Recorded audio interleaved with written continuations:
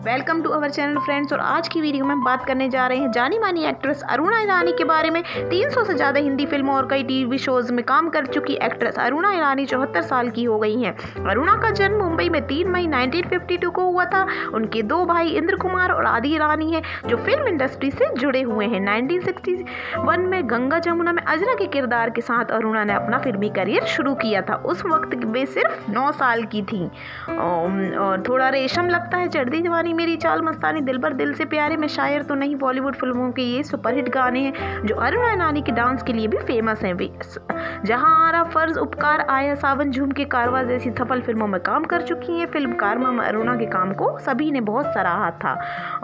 Nineteen में अरुणा ने महानायक अमिताभ बच्चन के साथ बॉम्बे टू गोवा में काम किया था। इस फ़िल्म में महमूद भी थे। अरुणा का नाम उस वक्त महमूद के साथ जोड़ा जाता था। उन्होंने महमूद के साथ औलाद हमजोली, नया जमाना जैसी फ़िल्में की। महमूद उनके प्रति प्रति जुनूनी हो रहे थे तो उन्होंने महमूद को छोड़ सारा ध्यान अपने फिल्मी करियर पर फोकस किया। सपोर्टिंग एक्ट्रेस बनकर रही थी अरुणा।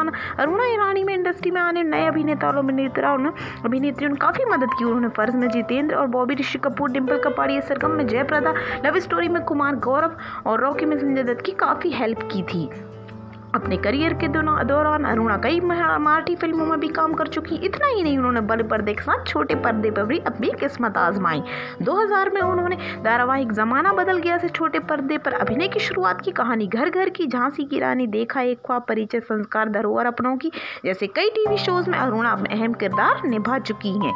ये जानकारी थी अरुणा ईरानी के बारे में। अभी एक्ट्रेस टीवी शोज़ में बनी हुई है। आई होप आपको ये जानकारी पसंद आई हो। अगर पसंद आई हो फ्रेंड्स तो हमारे चैनल को सब्सक्राइब कर लीजिएगा और भी ऐसी वीडियोस देखने के लिए हमारे चैनल पर बने रहिए। Thank you for watching